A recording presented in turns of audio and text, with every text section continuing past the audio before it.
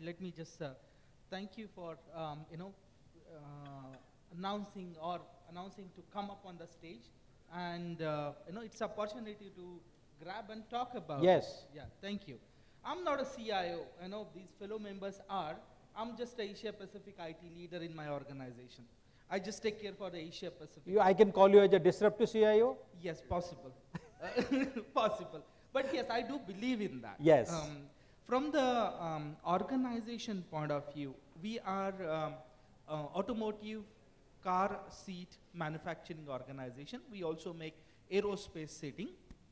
Uh, most, of, uh, I mean, our product ranges right from 1500 rupees to, you know, 1500, uh, 1000 rupees, probably. Every automobile car would be opting for that. Whether you are driving a Nano or you are driving a Jaguar, the seat will be from us in India typically.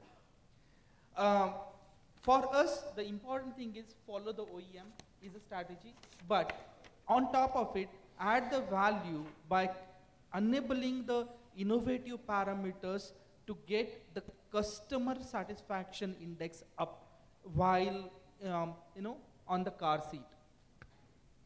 We all know about 78% of our body in the car is on the seat. So, except your palms and your uh, you know feet, everything else is, is, is, is a either safety or your comfort, and that comes from car seat. Wonderful. Okay, and capturing that data, making sure that analytics is working, and that results into the either enabling a CX, that is customer satisfaction index, helping making it lightweight so that it becomes budget savvy for upcoming electronic vehicles, typically weight management perspective. So we also work on, um, you know, the metal testing, the foam testing, fabric testing, thread testing, and kind of where engineering, IT-driven innovative aspects comes into the picture. Um, in olden golden days, we used to see those crash tests in, um, you know, in the TV screens.